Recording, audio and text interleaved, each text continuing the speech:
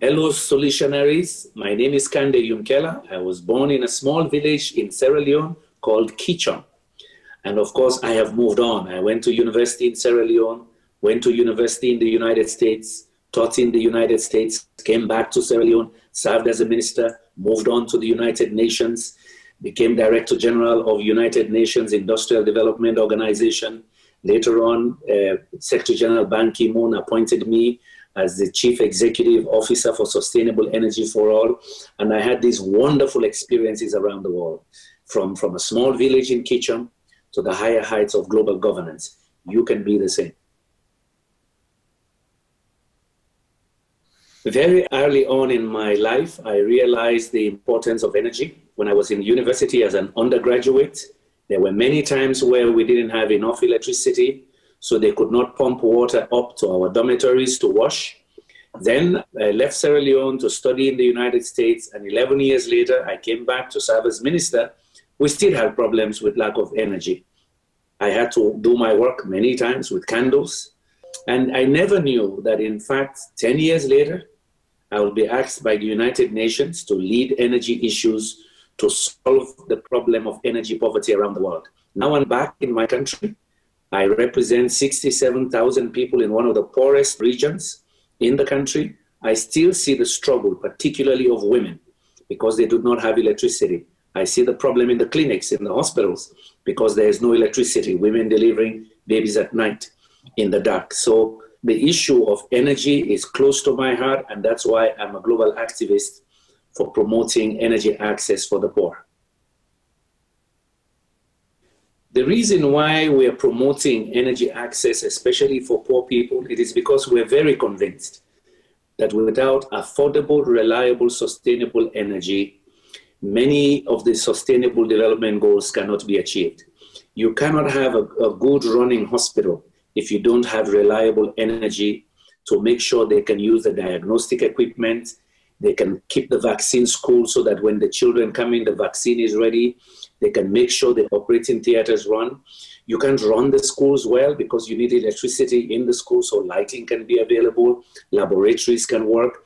You need electricity in homes when the kids come home so they can study, especially the, the women. If you go to the villages, the two, three extra hours of light in the evening helps them, in fact, prepare what they have to take to the market the next day. So, energy is crucial, and Ban Ki moon and myself used to say around the world it is the golden thread that runs through all the sustainable development goals because energy is the ultimate enabler of all the other sustainable development goals. In 2000, when these Millennium Development Goals were launched, there was no mention of energy. It was as if we assumed that you can run hospitals, have access to clean water, create jobs without energy. So we had to start uh, in, in mid 2000 to begin to mobilize the world that, in fact, energy was very critical if you're going to achieve the Millennium Development Goals at that time. Since we knew that by 2015 there will be another set of development framework that will be introduced, we started organizing ourselves to make sure that when the new goals are defined, that in fact energy will be one of them. It was a lot of work. It took many years. We built this big advisory board of over 50 leaders in the world doing analysis for us about how energy was connected to everything else, how changes in access to energy improved lives in other countries. So we needed good analysis done. We needed good theoretical models to see, in fact, whether there's good theoretical backing to what we were saying, but more importantly, we needed evidence on the ground. So you can see that what I started 15, 20 years ago, now I'm even more energized that you, the young generation, must help all of us and your generation have a clean environment, and we're saving lives by making energy access a reality for all by 2030. As young solutionaries, my advice to you is learn as much as you can. There's nothing like academic excellence. I benefited from it. I was a very good student, and then I went to some of the best universities in the United States. So that gave me the knowledge I needed. So I learned as much as I can. Second, I was always involved in activism. I always wanted to help change something from undergraduate all the way to grad school. I was involved in African students' organizations in US universities. I was involved in some of the protests we had against apartheid. I always wanted to be part of changing something, not for myself, but for something else. What that helped me have? It skills. Very important leadership skills, important communication skills, and empathy. I could put myself in somebody else's position. So I learned how to deal with people. Number three, learn to negotiate. The world is becoming very connected. We've seen the problem with COVID. It has hit everybody. Started in one small location, now it's all over the world. So you're going to have other problems, pandemics, climate change, but also challenges of getting natural resources where you have to negotiate with other children or other adults when you're adults from other parts of the world. I give you an example.